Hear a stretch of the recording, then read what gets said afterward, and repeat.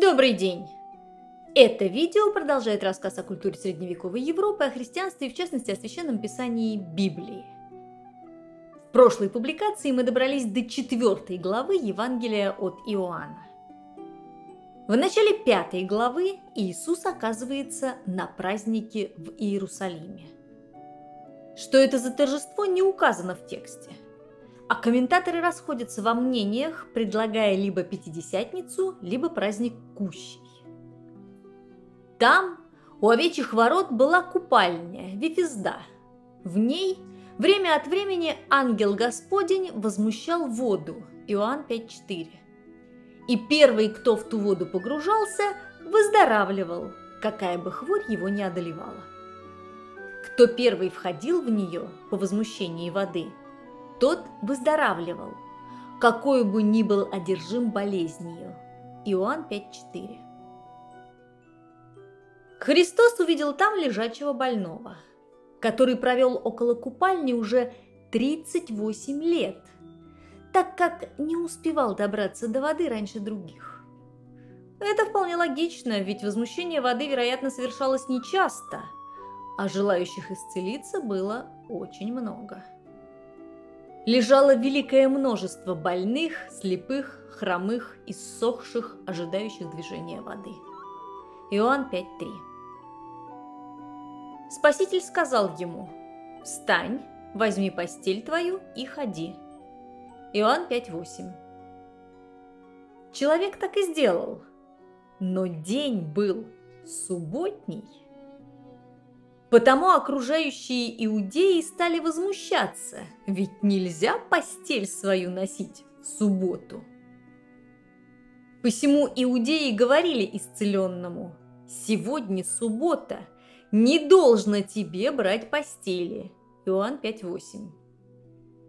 Кстати, теперь, выяснив, какой был день, рискну воспользоваться бритвой Оккама – и предположить, что праздник, о котором шла речь выше, был шаббат – еженедельное еврейское торжество.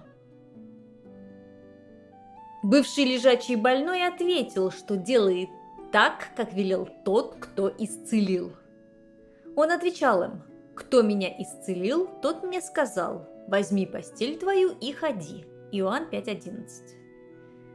Тогда его спросили, кто это, но он не знал имени – а Иисус к этому времени уже скрылся в толпе. Позднее Христос встретился с тем человеком в храме и сказал, «Вот ты выздоровел, не греши больше, чтобы не случилось с тобой чего хуже». Иоанн 5,14. То есть мы можем сделать вывод, что болезнь – это наказание за грехи. С учетом того, что грешат все, можно смело поддержать утверждение врачей о том, что нет здоровых людей, есть недообследованные. Бывший лежачий больной вернулся к иудеям и рассказал, что того, кто его излечил, зовут Иисус. Давайте предположим, что он не хотел Христа подставить, а только рассказать друзьям и родственникам, что есть такой замечательный целитель но им это не понравилось. У иудеев уже был Бог, который запрещал делать дела в субботу. И стали иудеи гнать Иисуса и искали убить его за то, что он делал такие дела в субботу. Иоанн 5,16 Он объяснил, Иисус же говорил им, «Отец мой до ныне делает, и я делаю». Иоанн 5,17 но они еще больше возмутились и записали его в богохульники. И еще более искали убить его иудеи за то, что он не только нарушал субботу, но и отцом своим называл Бога, делая себя равным Богу. Иоанн 5, 18. Спаситель и дальше стал объяснять, почему он сын Отца Творящего. Иоанн 5, 19. Он говорил о последнем суде, ибо отец не судит никого, но весь суд отдал сыну, дабы все чтили сына, как чтут отца. Кто не чтит сына, тот не чтит и отца, пославшего его. Истинно, истинно говорю вам, слушающий Слово Мое и верующий в пославшего меня имеет жизнь вечную, и на суд не приходит, но перешел от смерти в жизнь. Иоанн 5, 22, 24. Обещает воскрешение мертвых. Истинно, истинно говорю вам, наступает время, и настало уже, когда мертвые услышат глаз Сына Божия и, услышав, оживут. Иоанн 5, 25. В конце длинной речи добавляет «Исследуйте Писание, ибо вы думаете через них иметь жизнь вечную, а они свидетельствуют о мне». Иоанн 5, 39. И еще, «Ибо если бы вы верили Моисею, то поверили бы и мне, потому что он писал о мне». Иоанн 5, 46. Как вы успели заметить, обращается Иисус к иудеям и, соответственно, говорит о еврейских писаниях, то есть о том, что мы знаем как ветхозаветные тексты. Христос напрямую, без обиняков заявляет, что о нем предсказано в иудейском священном писании. Если вы все еще до сих пор сомневались, что Спаситель связан с евреями и их пророческими книгами, то вот оно вам еще одно подтверждение из уст самого Иисуса. Обратите внимание, в ветхозаветных текстах говорится о приходе еврейского мессии, Машиаха, а не общемирового. Шестая глава начинается историей прокормления пяти тысяч людей пятью хлебами и двумя рыбками – с которой мы уже познакомились в трех предыдущих Евангелиях. После него все решили, что это истинно тот пророк, которому должно прийти в мир. Иоанн 6,14. Таким признанием дело не ограничилось. Народ решил сделать его царем. Но Иисус же, узнав, что хотят прийти, нечаянно взять его и сделать царем – опять удалился на гору один. Иоанн 6:15. Несчастные, вечно голодные люди готовы были подняться на революцию ради того, кто их сытно и бесплатно накормил. Пока Христос был на горе, ученики в лодке по морю отправились в Капернаум. Погода была неспокойной. Дул сильный ветер, и море волновалось. Иоанн 6,18. Преодолев часть пути, они увидели Спасителя, идущего по морю. Ученики испугались, но Иисус сказал, «Это я, не бойтесь». Иоанн 6,20. Люди, не видевшие, как Христос уплывал на лодке, стали его искать. Нашли в Капернауме и спросили, «Рави, когда ты сюда пришел?» Иоанн 6,25. На что тот отвечал? «Истинно, истинно говорю вам, вы ищете меня не потому, что видели чудеса, но потому, что ели хлеб и насытились. Старайтесь не о пище тленной, но о пище, пребывающей в жизнь вечную, которую даст вам Сын Человеческий, ибо на нем положил печать свою Отец Бог». Иоанн 6, 26, 27. Тогда люди попросили конкретных инструкций. Что нам делать, чтобы творить дела Божии? Иоанн 6:28. И Спаситель ответил, «Вот дело Божие, чтобы вы веровали в того, кого Он послал». Иоанн 6:29. Непонятна мне суть недовольства Иисуса. Люди же искали его, вероятно, потому что уверовали – Дальше его уговаривали сделать знамение, но вместо этого он рассказал, что хлеб Божий есть тот, который сходит с небес и дает жизнь миру. Иоанн 6:33. Люди сказали, что всегда хотят есть такой хлеб, а он добавил, «Я есть хлеб жизни. Приходящий ко мне не будет толкать, и верующий в меня не будет жаждать никогда». Иоанн 6.35. На мой взгляд, здесь имеет место конкретное недопонимание. Иисус говорит о вере, о метафизике, о философии. А у людей не закрыты базовые потребности пирамиды Маслоу. Они жаждут банального, реального, конкретного хлеба – и то, что Абрахам Маслоу свою пирамиду еще к тому времени не создал и даже не родился, не значит, что не нужно удовлетворять базовые потребности.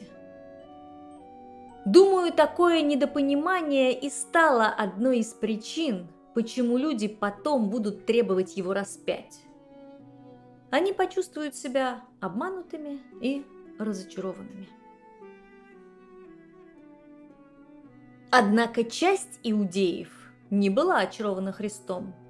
Они говорили, «Не Иисус ли это сын Иосифов, которого отца и мать мы знаем?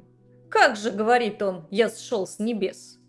Иоанн 6,42 Он же велел им не роптать и добавил, «Никто не может прийти ко мне, если не привлечет его Отец, пославший меня, и я воскрешу его в последний день». Иоанн 6,44. На мой взгляд, это очень важная цитата, которая говорит нам о том, что все предопределено. Все решено давно и за нас. Если Бог не захочет, не посчитает нужным, то Он не приведет конкретного человека к Иисусу и к вере в Спасителя. Получается, что тот, кто не верит – не виноват. Это не его выбор. Так решил Бог. В следующей строке Христос подтверждает свои слова ссылкой на ветхозаветную цитату. У пророков написано «И будут все научены Богом. Всякий, слышавший от Отца и научившийся, приходит ко мне». Иоанн 6,45. Это достаточно вольно пересказанный текст из книги пророка Исаии. «И все сыновья твои будут научены Господом, и великий мир будет у сыновей твоих». Исаия 54.13. Спаситель обещает «Я хлеб живый, сшедший с небес. Ядущий хлеб сей будет жить вовек. Хлеб же, который я дам, есть плоть моя, которую я отдам за жизнь мира.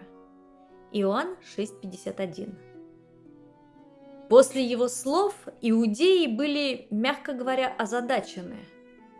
Как он может дать нам есть плоть свою? Иоанн 6.52 Иисус же не замечает реакции окружающих или не обращает на нее внимания и добавляет. Истинно, истинно говорю вам, если не будете есть плоти Сына Человеческого и пить крови Его, то не будете иметь в себе жизни. Ядущий мою плоть и пьющий мою кровь имеет жизнь вечную, и я воскрешу его в последний день. Ибо плоть моя истина есть пища, и кровь моя истина есть питье. Ядущий мою плоть и пьющий мою кровь пребывает во мне, и я в нем. Иоанн 6, 53, 56 Согласитесь, для неподготовленного слушателя речь эта звучит как-то по-вампирски или по-каннибальски. После таких слов и ученики его засомневались. Какие странные слова! Кто может это слушать? Иоанн 6,60. А потом и вовсе некоторые ушли от него – с этого времени многие из учеников его отошли от него и уже не ходили с ним. Иоанн 6:66. О таком не говорилось ни в одном предыдущем Евангелии. Однако, по утверждению апостола Иоанна, Спаситель заранее знал об этом. Ибо Иисус от начала знал, кто суть неверующие – и кто предаст его. Иоанн 6,64. Непонятый Христос обращается к 12 апостолам, которые, оказывается, к этому времени уже были избраны. Но евангелист Иоанн не упоминал об этом. Тогда Иисус сказал двенадцати, «Не хотите ли и вы отойти?»